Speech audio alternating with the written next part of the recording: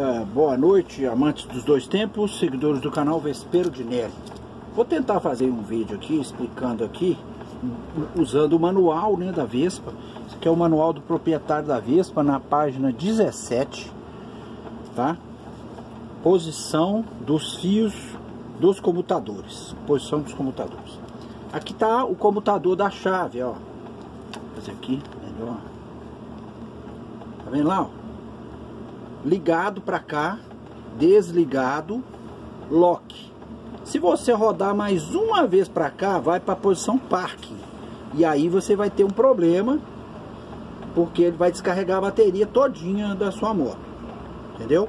Então, peraí aí que eu vou mostrar para você aqui, ó. Olha só. Ó. A chave ligada na posição ON, tá vendo aqui? On. Tem até escrito on aqui, ó. On, ligado, ó. Pra cá ela não vai mais, tá vendo? Ligado. Pra cá é desligado. Pra cá é desligado, a chave sai. Quer ver? Tá uma posição aqui que ela sai. Aí, ó. Saiu. Tá desligado, ó. Não tá ligado mais, ó. Ligado é aqui, ó. Aqui tá desligado, a chave sai e o guidão ainda está destravado. Para você travar o guidão, você dá uma chave, mais uma rodadinha aqui, ó. A chave vai sair. Ela vai ficar assim, ó. Tá vendo? A chave sai e o guidão não vira para lado nenhum. E, né? A chave sai, o guidão não vira para lado nenhum e a luz do estacionamento não vai acender. Não vai descarregar sua bateria. Mas se você tá no lugar escuro e, e vai parar a moto em poucos minutos lá e tá com medo de não achar a moto ou alguém esbarrar na sua moto, você roda mais uma vez sentido anti-horário, ó. Anti-horário, mais uma vez. Tá vendo como é que ela ficou? A chave também sai. Você leva a chave.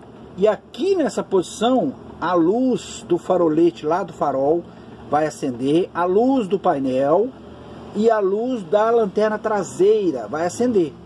Se ficar muito tempo nessa luz, vai consumir a bateria. Então o que, que eu aconselho você fazer? Deixa a posição lock, que a chave vai sair normal. Tem a posição aqui, tá a posição certa aqui. Baixando ela aqui, aqui ó. Esse meu tá quebrado. Saiu, tá vendo? A posição lock. Beleza? Cadê? É isso mesmo, lock. É igual aqui tá no desenho aqui, ó. Todo mundo tem um manual. Se não tiver, baixa o manual, PDF, aí, ó. Beleza? Porque aí você não vai ficar na mão. Beleza pura? Então, se você gostou desse vídeo, deixa um like. Se não gostou, deixa um dislike. Faça um comentário. E se você não é inscrito, se inscreva no canal para maiores detalhes, maiores informações sobre Vespas.